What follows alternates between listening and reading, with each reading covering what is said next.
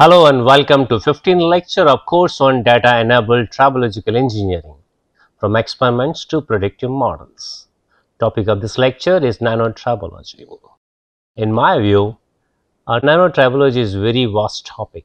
In the present lecture, we will introduce the topic nanotribology which is crucial in understanding the influence of surface adhesion forces on tribo interfaces particularly when the size of the component decreases from macro to micro to nanoscale. As the size of the component decreases, these forces become more important, like the friction force will be very important in this case. Mechanism of nano lubrication in such a situation generally deviates from a reported in a traditional lubrication mechanisms.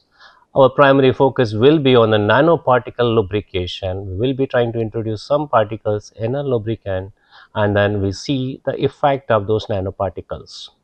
An overview of the various states of nanolubricants including liquid, vapor and solid will be presented. Nanoparticles composed of the metals, non-metals and ceramic substances will be discussed. The choice of nanoparticles is determined by the need of heat transfer characteristics of the lubricant in addition to the frictional wear. So, we are trying to do something slightly different we are saying the heat transfer rate will be really important when we are talking about the nano lubrication. Reason being that there will be mechanisms which we really require to account the heat transfer.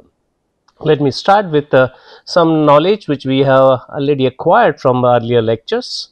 We say that low viscosity oil is very much required. What is the reason? Because it will cause a lesser hydrodynamic friction. That will cause a lesser heat generation. Of course, it happens, but what will be the happening? The surfaces may be in contact. And that's why we say the complete separation of the surface is doubtful. That's why we require additives or nanoparticles. So that's where the importance comes over here. We want low viscosity but either we go ahead with the additives or we go with the nanoparticles. Second thing comes the lubricant functionalities. We assume that the, there will be need of the reduction in friction and wear.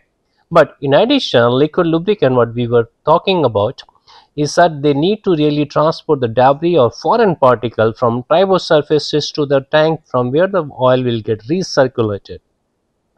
In addition, whatever the we are adding a nanoparticles or additives, those should be transferred to the right places so that it, we get enhance the lubrication mechanism. So these are the two important thing. In addition, we require heat transfer. So these are the important points and we need to really account this. However, in the present lecture, we will not be able to explore all. In subsequent lecture, we will come one by one on these points.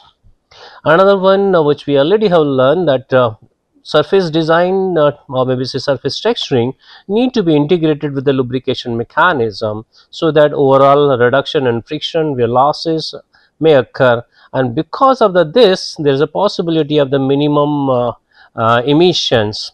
There are typical example gearbox and engine which have shown that if you really go ahead with this kind of lubrication mechanism emissions will come down also in addition, we will learn something like uh, we should go uh, or adopt a standard approach. And we can take a some um, in the base something like ASTM standards.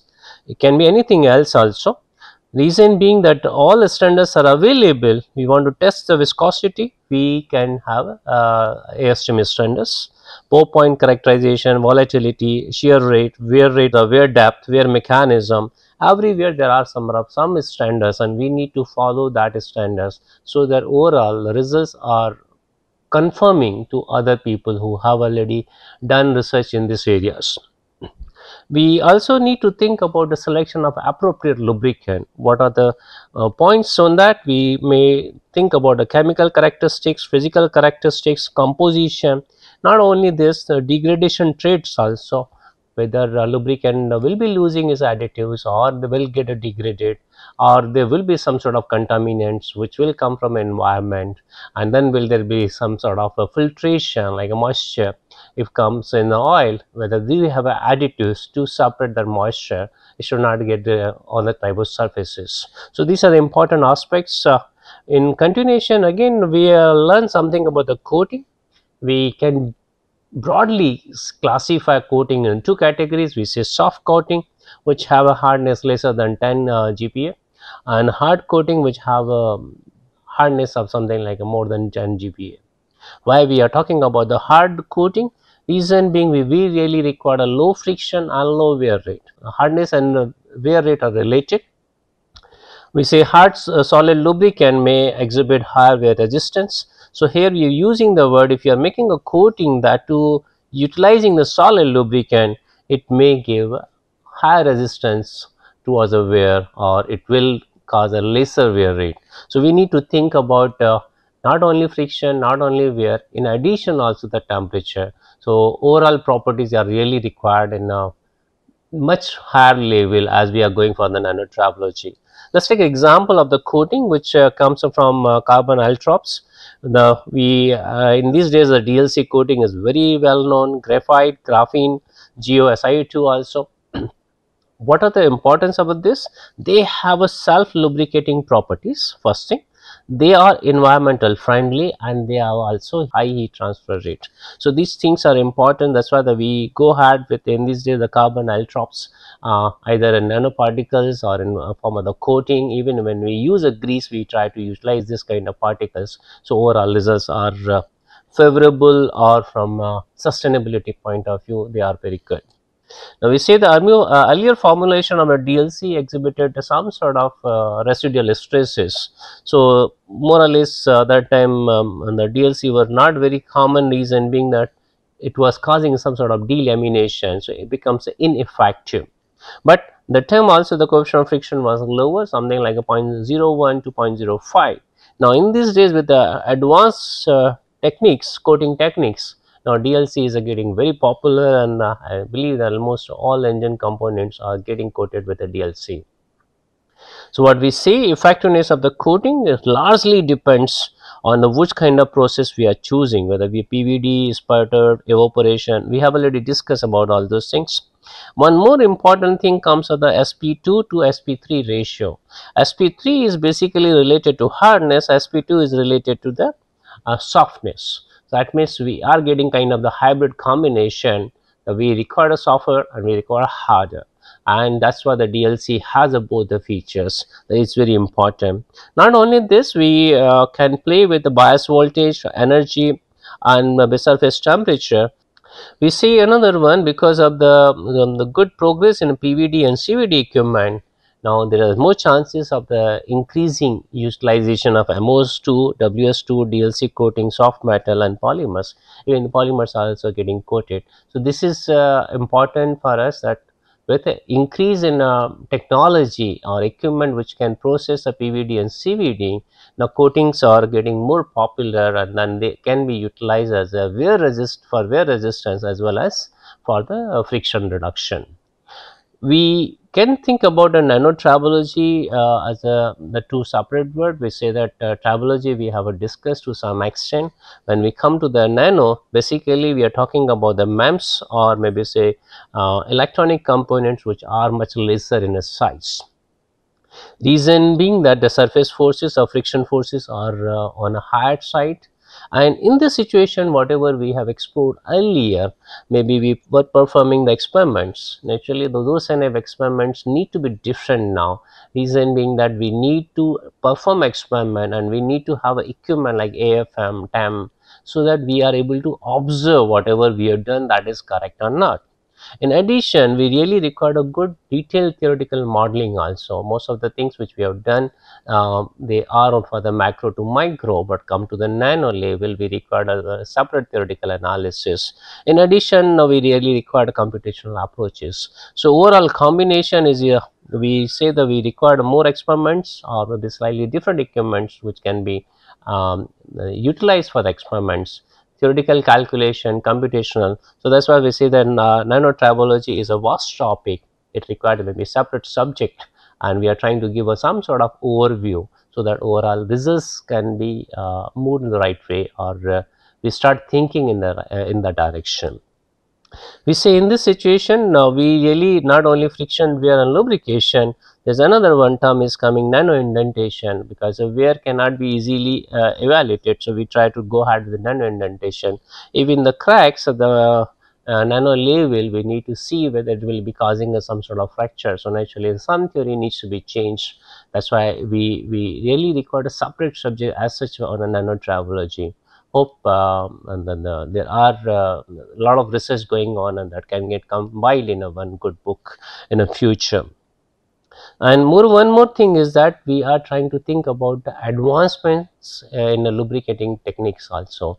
Whatever the techniques we were using now we are thinking slightly ahead of that where the lubrication technique can be improved particularly for the MEMS what we say the micro electromechanical systems.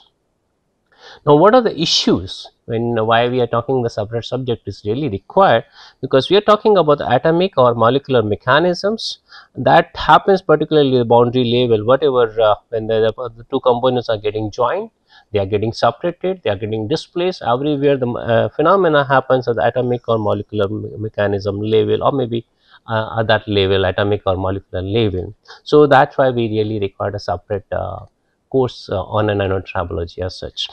Another point comes um, in the earlier we were thinking about only friction where here we require a six essential function. One is a friction which we already discussed.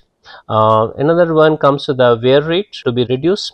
This is another one that the nano component do not have bigger volume and then uh, cooling will become uh, very important.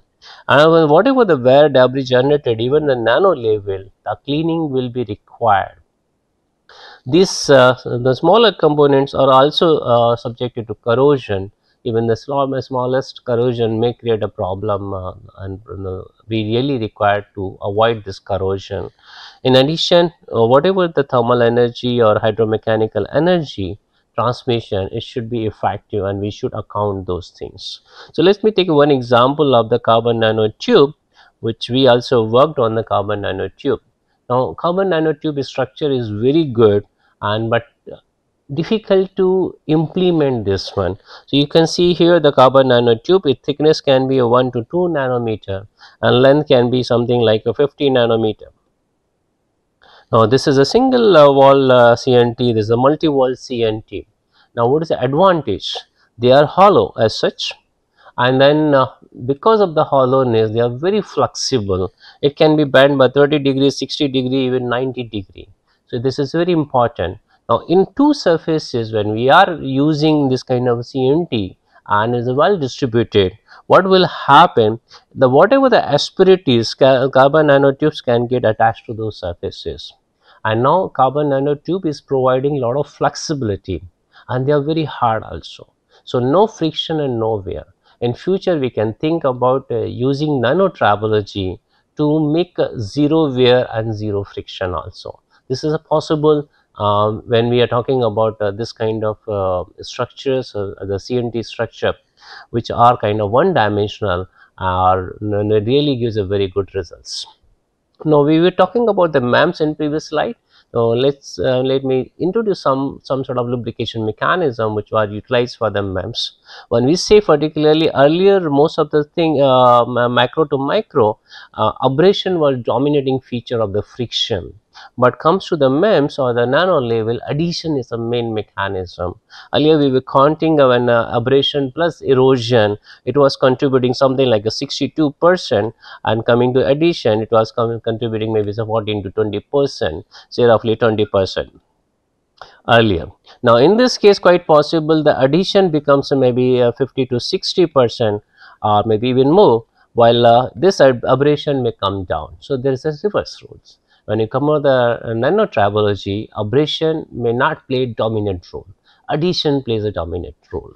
So, let me introduce this topic. We say the for a uh, MEMS or the micro electromechanical system, rubbing contact or tribo contact will occur and then uh, we really require this uh, kind of a mechanism which will work for the number of uh, years or number of days and we do not have a lubrication mechanism which can continuously be provided to the uh, MEMS system. So, what we say uh, interface must possess a effective and long lasting lubrication mechanism we don't have a process to pumping the lubricant again and again the way we are doing in the macro to micro machines. But and uh, particularly when come to the nano level, we really require that interface should have a long lasting lubrication mechanism. How do we do that? We say lubrication film must be must heal its own and in previous uh, lecture lecture 14 uh, we mentioned that there are some sort of uh, coating or material like particularly soft metal they heal uh, the, the cracks are generated because of the heating. So there is a self compensation happens over here. While coming to the MEMS we really need to provide uh, that to the nanometer level. It cannot be mm level. So refill themselves to keep a low friction low wear uh, thing. Otherwise what will happen if you are not able to do it adhesive force will increase, restrict movement of the device, relative motion will be stopped and may even lead to the uh, collapse of the structure. So, whole device will start malfunctioning. That is why the adhesion becomes a very important role particularly when we are talking about the nano tribology or MEMS system and we really require a lubrication mechanism actually we really require something different. So, what is the different in this case? Now, we have a, something like a vapor phase uh, lubrication. We form a vapor of course and again it cannot be in high pressure, it cannot be in high temperature, we need to really keep in that in mind. So, what we say the vapor phase lubrication delivers a lubricant molecule to the surface through gas diffusion and then once it is uh, reaches to the surfaces then there should be the adsorption. So, there is a slightly different we are not using liquid lubricant we are using a vapor formation is kind of the gas form and diffusion and which has a, some sort of potential uh, uh, additives which are also the nano level and they get adsorbed on the surfaces. So, we say the potential to uniformly covering all the surfaces it should not happen that nano surfaces or micro surfaces some portion is getting more additive some portion is getting lesser additive. So really we have a challenges that potential should be in a manner that uh, all complete surfaces are getting uh, this kind of uh, lubricant. Otherwise uh, we will have some sort of a misalignment. So, we say the potential to uniformly covering all the surfaces including those are the deeply embedded. So, vapor lubrication or vapor phase lubrication is a new uh, thing which is really required.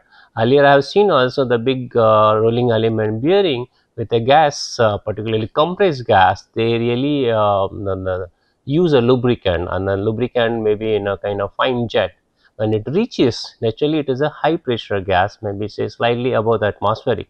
But here we do not really require a pressure also Reason being it will not be covering complete surface if you go with the pressure. It will look at the leakage path and then wherever the uh, whichever the thing comes in the path it will get lubricated other parts will not.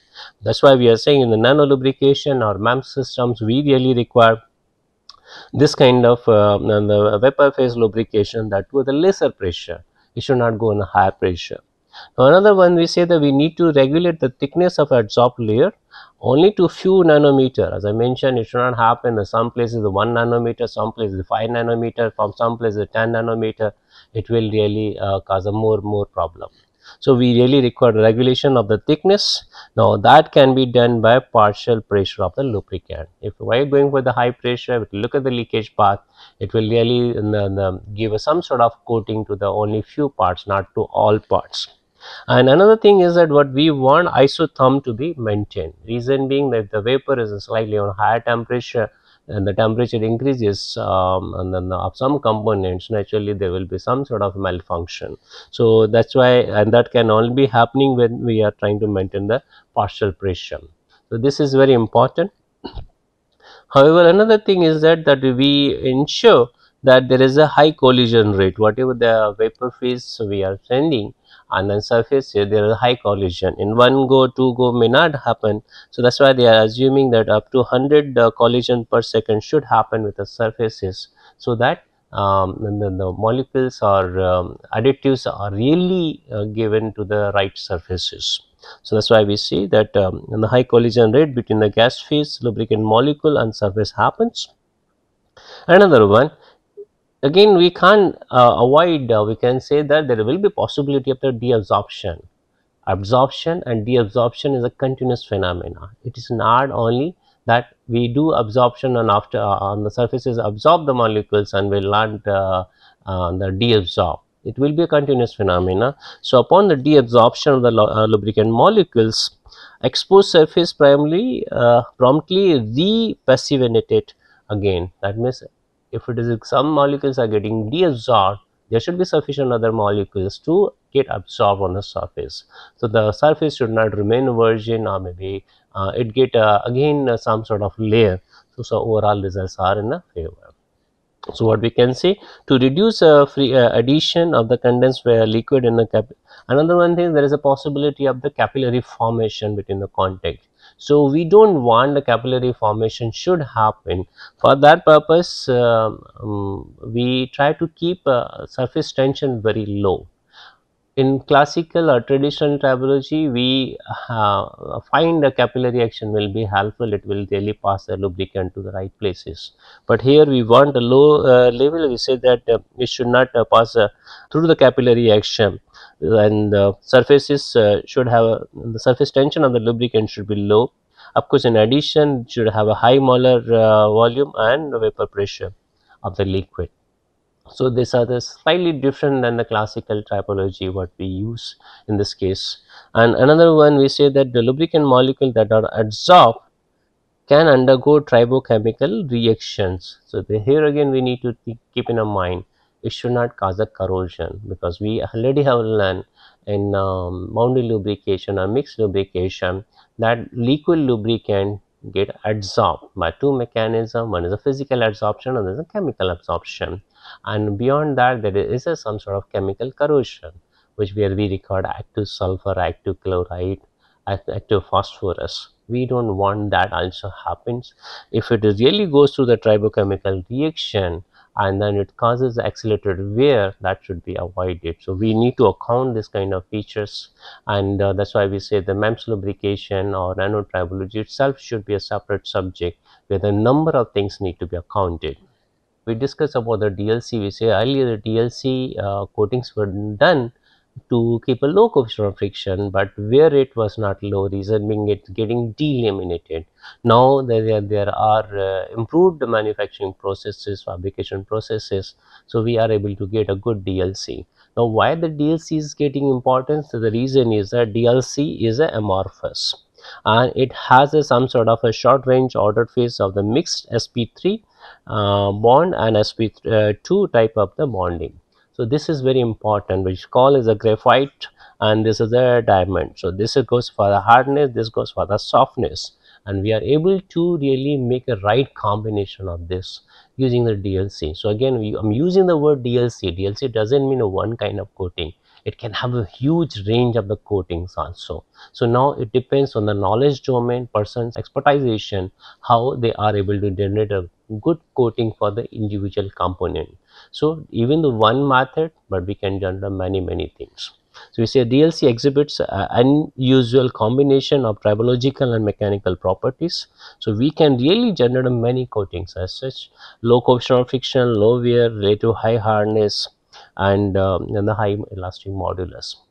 So here is not only PVD, sometimes we use a plasma assisted coating or sometimes you will use the word plasma enhanced coating and this is what we are seeing the SP3, uh, SP2 by SP3, what is the relation and what is the ratio of SP2 to SP3. Of course, the coating cost also will change uh, somewhat uh, process parameters will change when we are trying to utilize this one. And this is the I'm trying to show one of the plasma assisted uh, CVD coating in this case. The hardness itself is around 20 to 30 uh, gigapascal which is very high. And they are were uh, maintaining the coefficient of friction because here the hardness is on the higher side coefficient of friction is slightly moving up.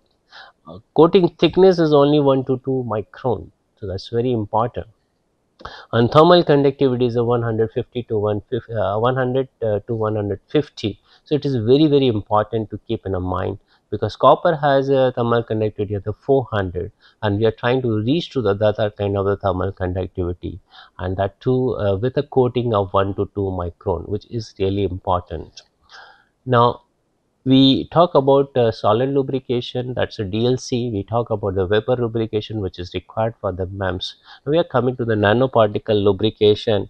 Reason being uh, this becomes a more popular. Now it is not only for the nano it can be used for the micro lubrication it can be used for the macro lubrication. So it has a much more usages compared to the nano level uh, alone so they what they do in this case they form the film uh, of the nanoparticles. Uh, the nanoparticle we generally say range is a 1 to 100 nanometers.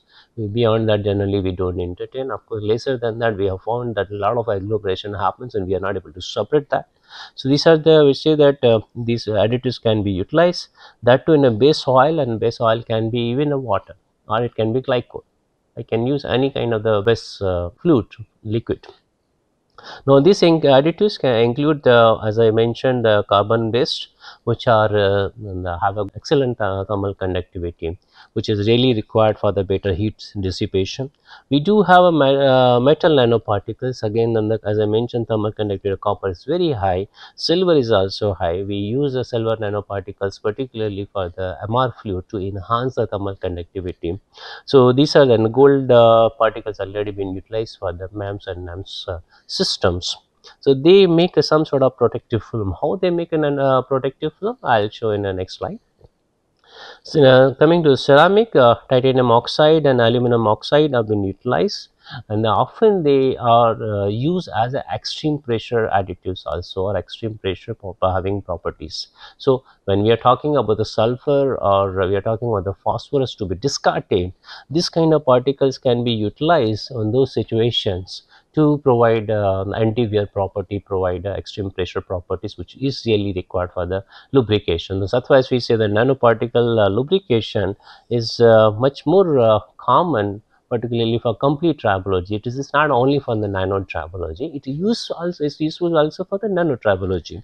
Now coming to the molybdenum disulfide or WS2 also they also have a good properties they have anti-friction properties they have uh, particularly used for extreme condition particularly high temperature where the lubricants are a little difficult uh, they get uh, oxidized also Coming to the polymer nanoparticles, and this is also of course for low temperature application we can go for the polymer nanoparticles. Now, in addition, uh, we are talking about the mechanism of the tribofilm formation. I will show you a few sketches in the next slide. Now, it can involve the physical and chemical adsorption which we already discussed uh, in the previous lectures. Now, another one is that uh, reaction uh, should be balanced and protect the interface. It should not cause excess uh, uh, corrosion and then uh, unnecessary fast degradation if we are designing some coating for the some time maybe say 15,000 kilometer and then we should have a balance um, a perfect balance for that kind of reaction. When another point comes uh, most of the time we are using additives so that in situ wherever there is a need that uh, particles can come into contact with the, the asperities and do the right function as such. We say that in this case it really can give a superior uh, anti-friction and anti-wear properties. However, the new thing uh, which we also learn in previous lecture is that we can go ahead with some sort of uh, nanostructure on a surfaces or we do a texturing of the surface. So, the lubrication retention remains there and in addition we can provide a super hydrophobic properties. It's not getting sprayed it remains there on the surface and it doesn't get squeezed out. So this is the properties are really required uh, to uh, particularly when we have a self cleaning uh, property requirement from a lubricant. So this kind of particle uh, will take away also the some sort of uh, dirt or uh, when we want to clean the surface while uh, spreading uh, is goes in a surface so it doesn't really uh, take away the, all the dirt or it doesn't have a self cleaning properties. In addition it should repel the, the particularly the water and maybe some sort of liquid which are not good for the surface. It it should not cause a corrosion of the surface. And we say that it is also it should not cause any uh, surface degradation. So this is uh, uh, what we say uh, in the case physical adsorption chemical adsorption possible but there should be balance of the chemical adsorption. And coming to the in situ um, lubrication we should have uh, the, the, particles in a manner which are really reaching and getting spreaded properly as I say the next few slides I'll be trying to explain those things. On top of that we require one additional property hydrophobic property that it should not really spread on a surface. It should remain in a molecular form. So these things are really required. Coming to the life cycle of the, this kind of lubrication we say the creation of the film will be there. Elimination is also there. So and absorption then elimination and finally replacement band and we really need to control on that. Whatever the formation elimination and again uh, formation it should have a complete balance so that uh, nano lubrication remains intact for its life cycle. So these things are important uh, to uh, to keep a balance uh, to get overall good properties. Now I'm just trying to give one example of uh, nanoparticles which have been utilized for IC engine because in IC engine we know there is a boundary lubrication, there is a mixed lubrication, there is EHL, there is HL also. So that's why the, they are using now uh, the lubricant. In this case, particularly, they tried with a 5W30 uh, uh, base oil lubricant with a nano additives. And nano additives again, uh, they will go for the sedimentation. So that's why they use a surfactant, oleic acid as a surfactant. So that what are the properties, uh, kinematic properties in this case, uh, viscosity uh, at the zero when we are not using any additive, the kinematic viscosity is around 54 centistoke when they use a 98 percent oil and 2 percent oleic again little bit uh, increase in viscosity. But uh, this is a graphene nanoparticle they are adding uh, the, initial is a 0 0.03 0.2 0.4 0.6 percent. So they tried it and then as i mentioned oleic acid has been used as a surfactant. So, the particles remain in suspension. They should not get sedimented because we know that sedimentation initially the performance will be good, but after few hours its performance will deteriorate badly. So, this is uh, what they did of experiments on a gasoline engine. All the parameters have been defined over here. And uh, in addition uh, when we are using about the graphene nanoparticle they they have a, some sort of uh, water absorption capacity I have seen that particularly if there is a some water, graphene really works very well. It really gives a very good property. So, water gets absorbed by the graphene uh, and then we will have a lesser chance of the getting corrosion or, or, maybe rusting on the surface. So, this is the data which says indicated that base oil and then uh, graphene you are able to see that uh, wear rate is reduced from these are the black particularly when we, they are using only for the base oil and this is the red color has been shown uh, the reduction however again we are showing that whatever the particle or what is the percentage they are using it is only for the some condition. If you change a condition here you they, they when they are loaded with the 350 newton graphene uh, particles are not showing much good results. So naturally percentage of the particle and what is the really size of the particle both will be important. And that has been shown in this uh, friction coefficient. They are shown particularly one condition uh, on uh, particularly sliding speed has been mentioned over here. And then they are showing the two different uh, load condition to 16 to 185 newton. They they have shown clearly that um, at every level uh, at a higher load uh, coefficient of friction is a uh, lesser compared to the uh, lower load the load dependence also comes. Another one the 0.4 percent which uh, was done in this case that shows the lowest coefficient of friction and that to the both the load. So, there is a more robustness. So, we really require the robustness also, we really require the right percentage. So, we are saying that only keep adding the graphene particles will give a good result that is not that has been shown here the 0.6 percent that coefficient of friction is increasing again. So, there will be always an optimum that is why we really require regression models that is why we require a machine learning. So, we get optimum results in all the scenarios. Now, what are the different mechanism? We say the particles can be in a spherical shape. So, in that situation rolling mechanism will dominate and this is the best.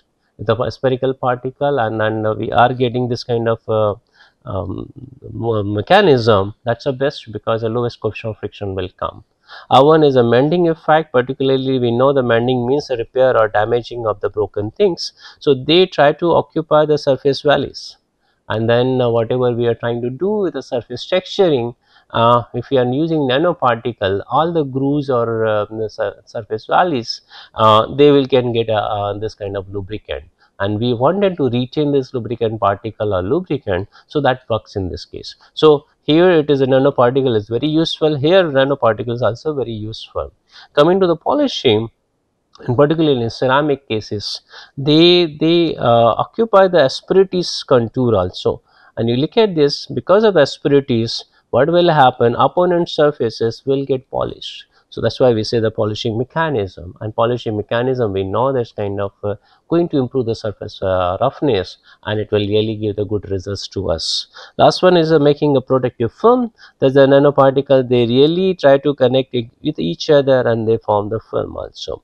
So we really do not really require a separate coating technology to make a, to make a, a film while uh, in this case nanoparticle can occupy those surfaces because of affinity because of the um, interaction between a surface and we really require right particles for that purpose. So, this can be done. So, there are four um, common mechanism which say rolling mechanism, mending mechanism, uh, polishing mechanism, protective film and there are something uh, which really need to be accounted.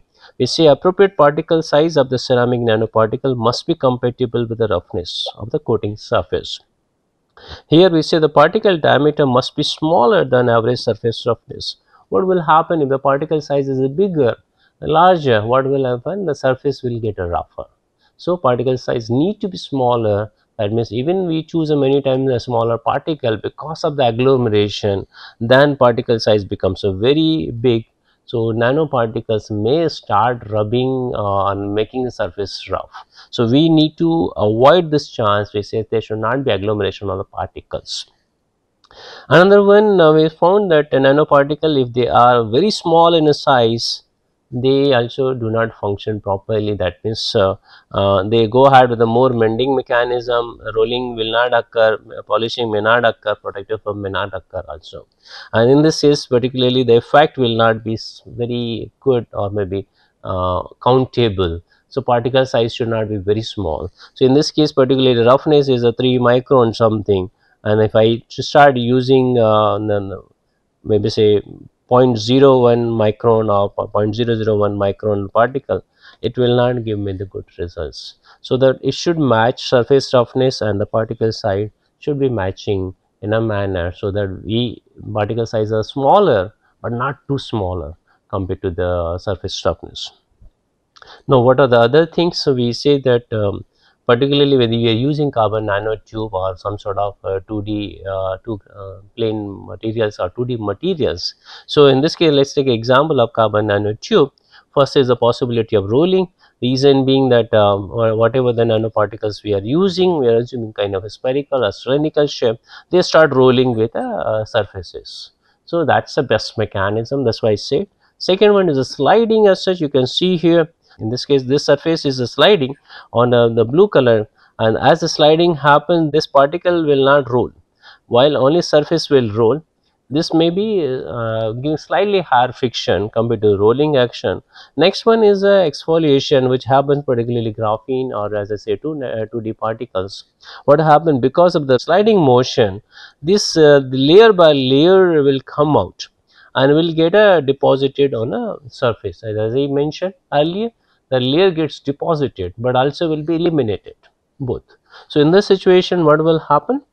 Over the period nanoparticles will get depleted from uh, oil or lubricating oil and we need to again add or recondition or maybe uh, change the lubricant. So, that is why I say process of the exfoliation and transfer of film which happens mostly the um, nanoparticles um, involves the deposition of this layer onto the rough surface of course, they will uh, uh, minimize the wear, they will reduce the friction that is why we say that it will facilitate smooth shearing.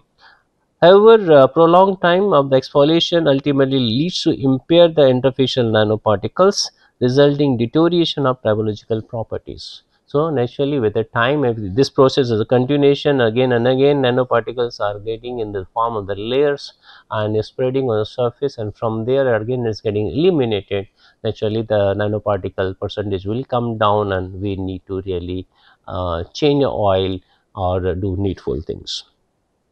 Now one more uh, point as I mentioned the nano grease I say uh, reason being that uh, we want to enhance the longevity. Uh, we want the lubricant to be kept for the very long time and that too um, it should be uh, we need to develop a lubricant in a manner we don't have to replenish a lubricant at all for the very long time. And that's why the many people say that use a lubricant for lifetime. Use that's there that's why the nano grease comes in a big way. And particularly this is getting more popularity particularly the when we are talking about uh, the vehicle electric vehicles so it can uh, substantially save the cost because we really do not really require to change the lubricant and then because of the sometimes the lubricant absence the component need to be closed or shut down and maybe go for the maintenance. So, we do not really require a need for the emergency maintenance if you are using the nano grease and that can uh, go far with many many um, cycles. Most common is a lithium grease which is can provide a robust lubrication. Reason being it is well suited for metal to metal application and then it is a really provide a robust lubrication and one of the slide earlier mentioned that uh, this grease up to 85 percent of the grease are mostly lithium greases then it has a excellent temperature um, resilience and it also provide a protection against the rust and corrosion. So, this grease is very important. Now, we add some sort of nanoparticles to increase the further is the thermal conductivity or longevity or maybe uh, the wear resistant or extreme um, lubricant conditions. So, that is possible so that's why we see that uh, there is a one paper which uh, have, they have made around point uh, different kind of uh, nano additives in that in one case they have used a 0.4 percent uh, graphene oxide or reduce uh, um, graphene oxide. So we can say ncga another one they use a calcium carbonate 5 percent. And then we can say that as a ncgb and in third case they use aluminum uh, oxide as a ceramic particles. We can say NCGC and of course in addition they use some sort of uh, titanium oxide and silicon oxide particles. But what best result they got from rGO only they say that rGO is giving around 45 percent uh, EP properties earlier as I mentioned that uh, now EP additives need to be replaced with nanoparticles. So, they have proven that it is uh, at 44 45 percent contribution comes. Coming to the calcium carbonate this goes only 25 percent. So, naturally we will be requiring a kind of a rGO uh, nano lubricant which will be giving the good results as such. In addition they have mentioned particularly the friction reduction is around 60 percent. So, it has anti-friction property, it has anti-wear property, it has extreme pressure properties also. So, naturally this kind of lubricant uh, or maybe nano greases can be utilized for future purpose. Question comes how do we say this?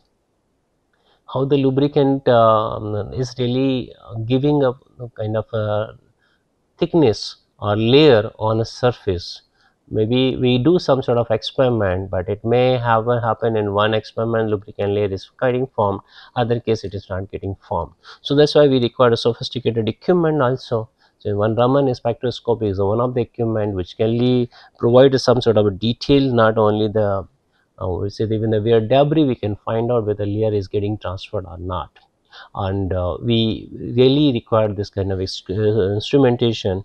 We have another one SEM, but of course in these days we say SEM may not give very good result. We require a TM uh, when we are talking about uh, nanotribology. Coming to the nano coatings, already we mentioned here now, nano coating again uh, has a lot of variation to some extent we have discussed this in lecture 13 we say PVD layer CVD and the chrome layer and then it is a multifunctional layer. Now, we do not really require only one coating we really require many many coatings and then it can be 1 nanometer 2 nanometer. So, these are very important.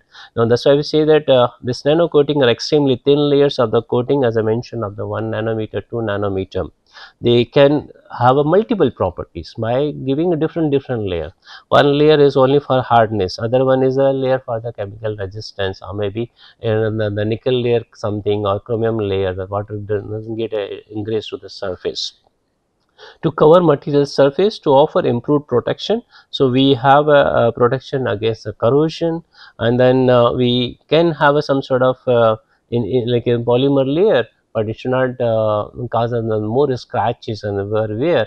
again that's a possible. Or maybe the we have some sort of a layer that which repels the water.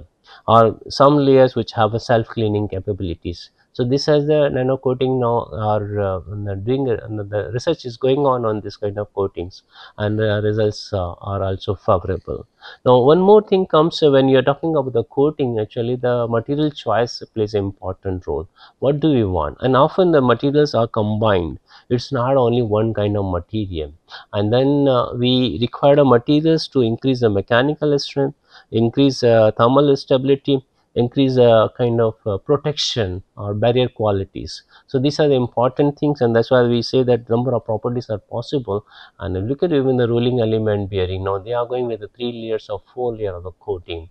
We have seen uh, one of the sliding bearing the three uh, three metallic layering in this case we need to think about our nanomaterial synthesis when whatever particles we are getting if they are not synthesized properly if they are not made in the in a proper shape or size then it will not really give the good results. So many times people uh, grind it to the 1 micron to 10 micron so there is some sort of distribution and then uh, they do a coating on the surface. It may improve the results but may not give the optimum results. So that's why again uh, some sort of modeling is really required which particle size, which particle shape is going to really give a good results. Sometimes spherical particle instead of spherical particle we go with irregular particle so that um, uh, overall uh, density densification increases.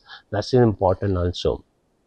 Now when they do preparation of the coating after synthesis naturally the formulation of uh, additional element like you know what will be the binder how they will bind what are the solvent what are the dispersant these are the additives which are really required. So it is not a simple coating technology or coating um, technique but how do we formulate what kind of material shall we select? And then after usage what kind of the post curing should be done? So those are important. We say curing application curing post treatment and then this is what we say that TEM and AFM kind of things are really required. We need to do a characterization of whatever we have done that's right or wrong. And then uh, every coating will have a different kind of a drying process.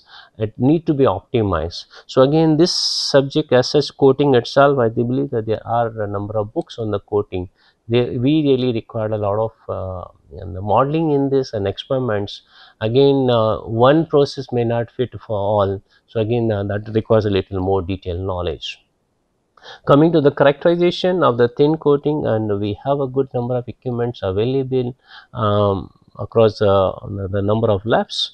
We say it is a composition, characterization and structure, how the coating has been structured because overall results will depend on that.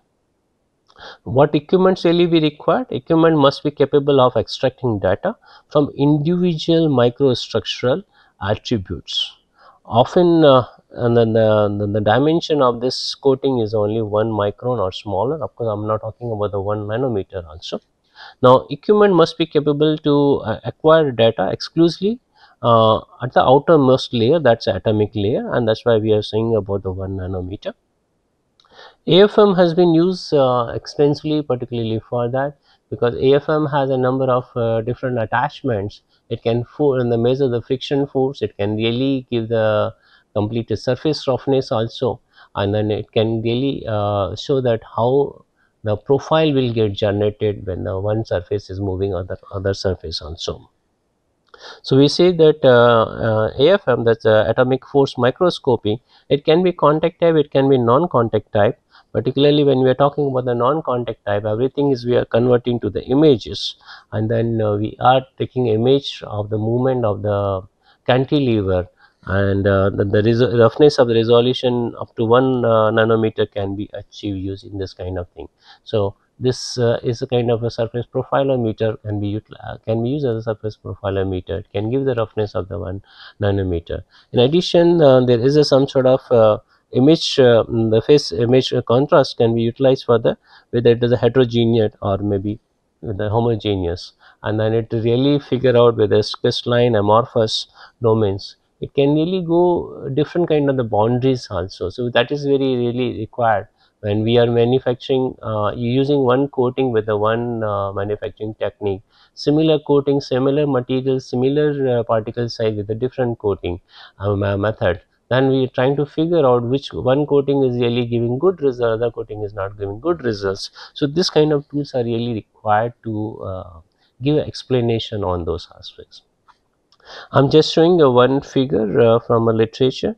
You can see that the surface atoms are arranged over here and this is a, uh, AFM part and this is a cantilever which is very elastic and as it moves on the, on the molecules it deflects and that deflection is uh, captured and that deflection is captured and that gives a surface profile to us. That means even the 1 nanometer or maybe even lesser that surface roughness can be measured. So, what we say AFM to obtain the precise uh, 3D image of coated in this case they tried with a phosphate surface at nanoscale and then uh, there are a microscopic force sensor. This is what we say the cantilever will be connected with a force sensor to detect the force uh, between uh, finally pointed uh, sharp peak points. This is a sharp point what they are mentioning and the surface of the sample during the scanning to create a picture. Now this uh, probe sample interaction yields a significant insight on many things.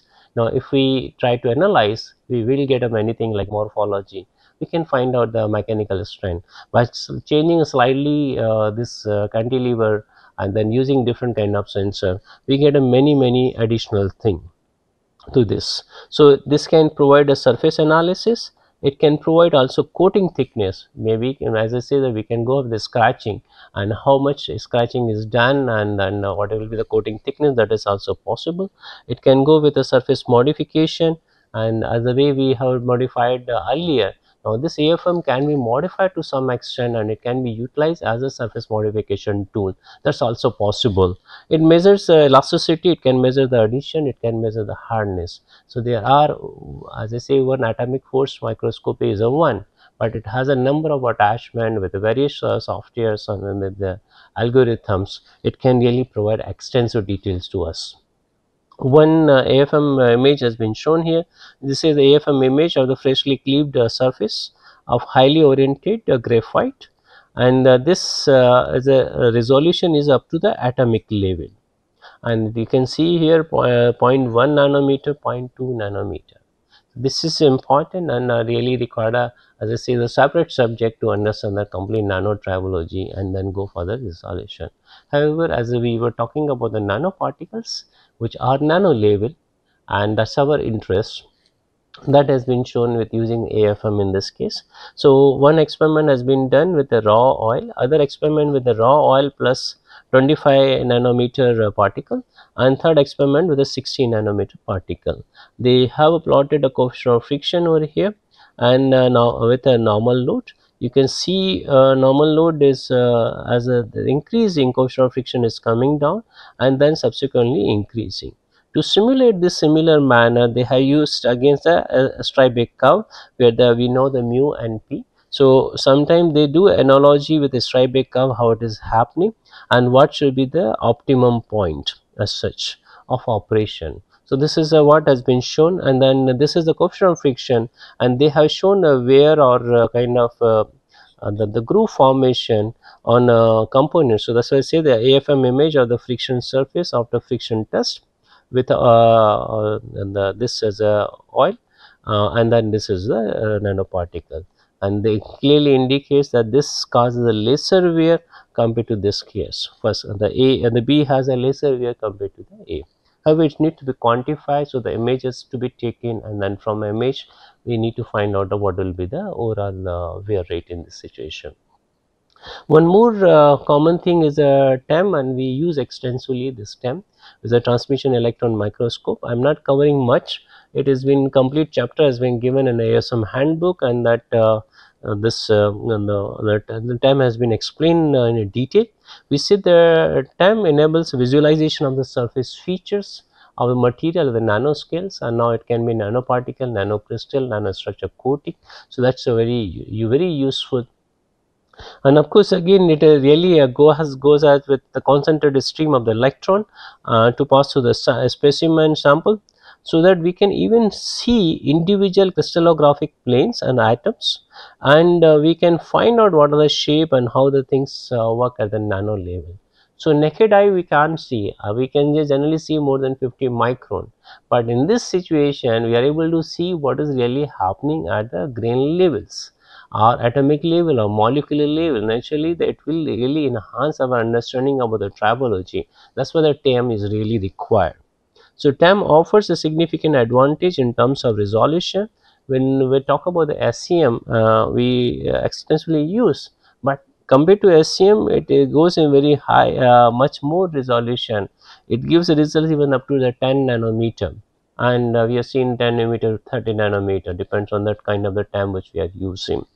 In uh, one uh, experiment we did and we found the graphene is not giving very good results and then we analyzed that using a TEM and we found particularly because of the uneven and complicated shape was observed in a graphene and it's not really making the lubricant thin layer. It is a kind of the bulk layer and then because of the high surface roughness that is what has been shown here you can see here the graphene sheet in the completely crumpled shape and then if it is not done properly or it is in the surface roughness is not very good naturally it will not give good results. In that situation particularly we got a good results from hBN reason being that the, they are not getting very agglomerated and they are distributed. While MOS2 we also found a problem reason being there was a lot of agglomeration. So, how do you find agglomeration, crumpled shape that comes with the TEM. That is why I say that we use extensively TEM compared to AFM and it really provided good results to us. So, let me uh, write a few lines on the TEM. We say it can provide a coating structure of the TEM. It can really provide a coating substrate interaction. We can see if there is a some surface uh, substrate here and if you are using 1 nanometer coating and then how it will get embedded how much it is really entering in here and here here here that also comes out. So this really gives a very clear visualization of the what we want to achieve. Are we achieving? If it is not achieving then whether what are the controlling parameter? Can we play with those controlling parameter? That gives a more depth. In addition it provides a assessment of the coating uniformity also and then if there is a possibility of the coating degradation it really provides an insight into this. However, this cannot be done in situ. That is an unfortunate thing. And in future we are thinking about using good kind of uh, microscope in situ and use a good software or using machine learning artificial intelligence so that we can get a, this kind of results in situ However, whatever we are getting is after that doing the test, not uh, during running condition. If you are able to really achieve it during in situ operation or during the operation itself, that will give a good uh, age to us and we can improve technology in better form. One of the major issue with the TEM AFM is that infrastructure requirement is the costly equipments causing one of the one more than one CR and then it really requires a non-stop uh, power supply, vacuum system, cooling system, vibration free flow. There should not be any vibration otherwise we will not get a good results from that. So, these are the important thing.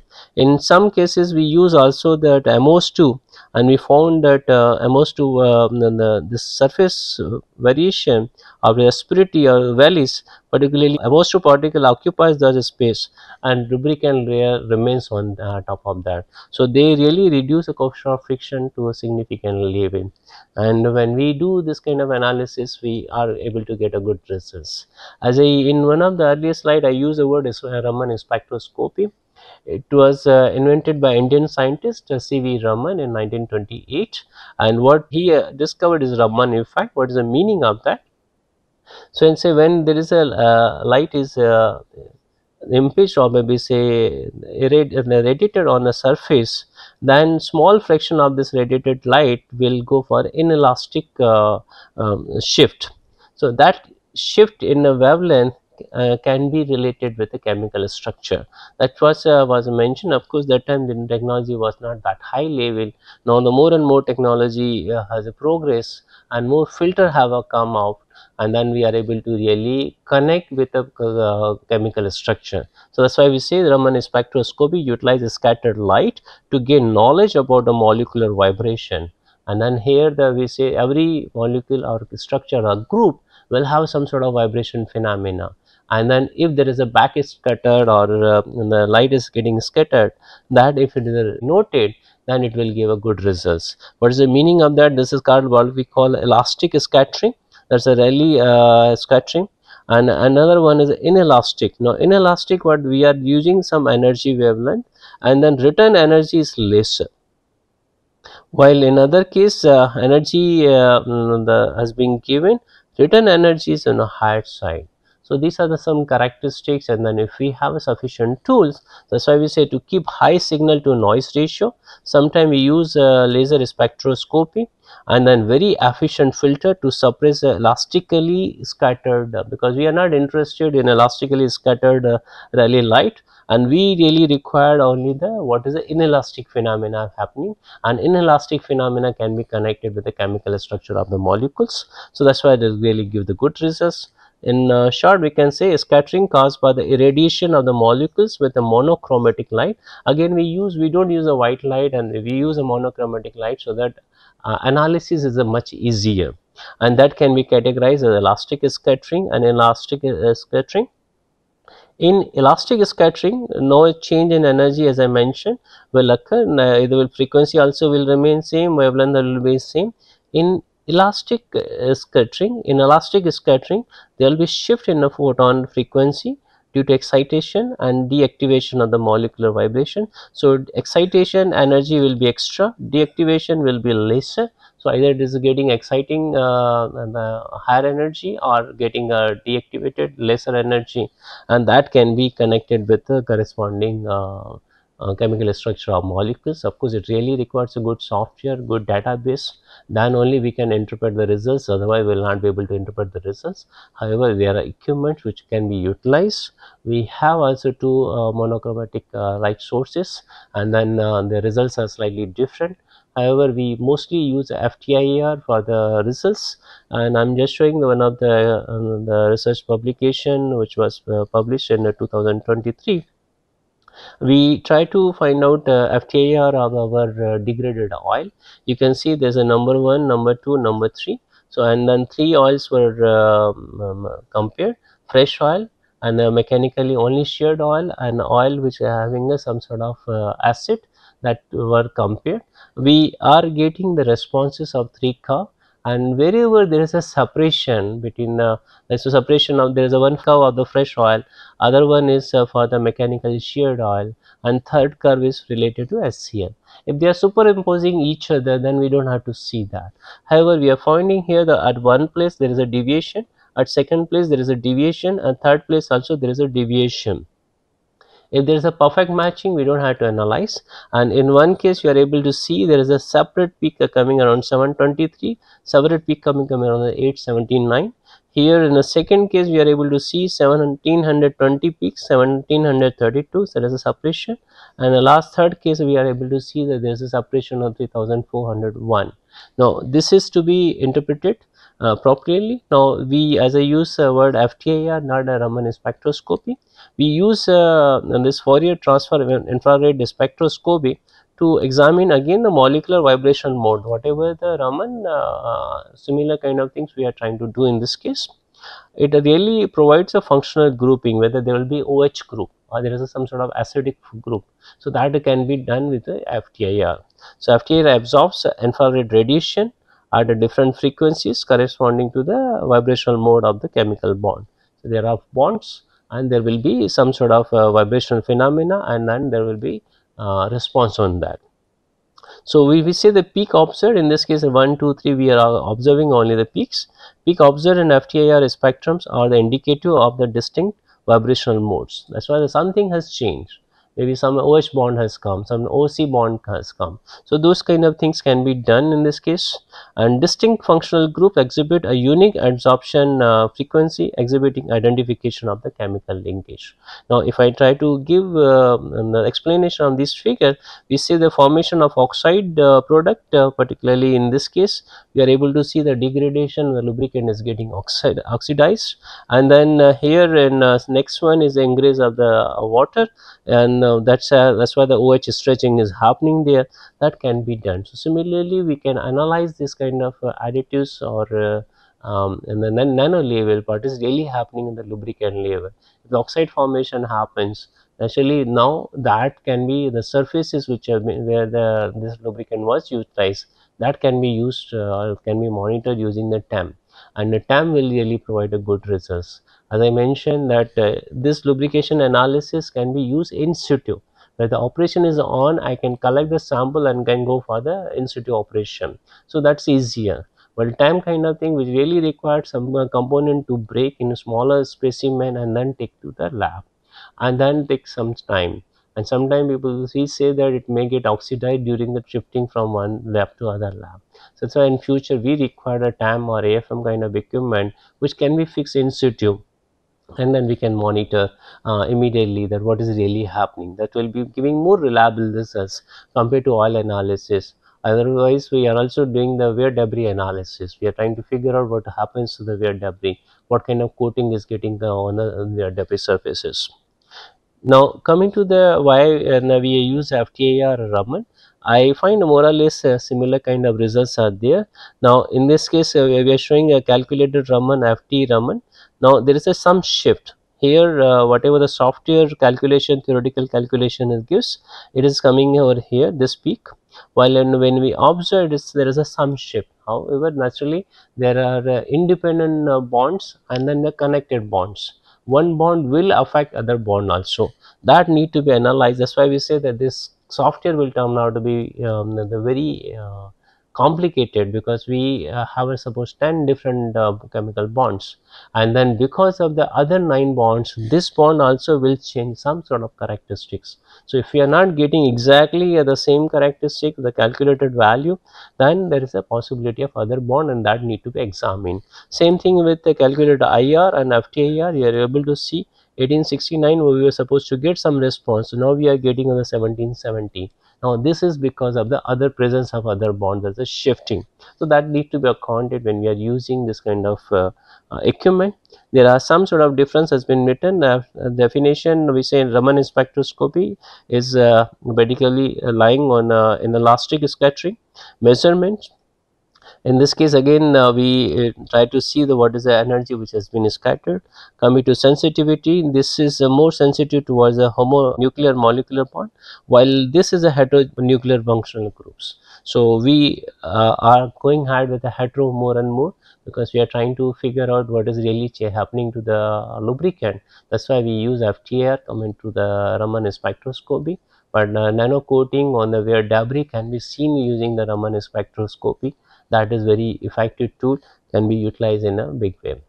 Now what are the challenges? Uh, whatever we have discussed, we have a lot of challenges that's why we again see the nanotopes is a separate subject.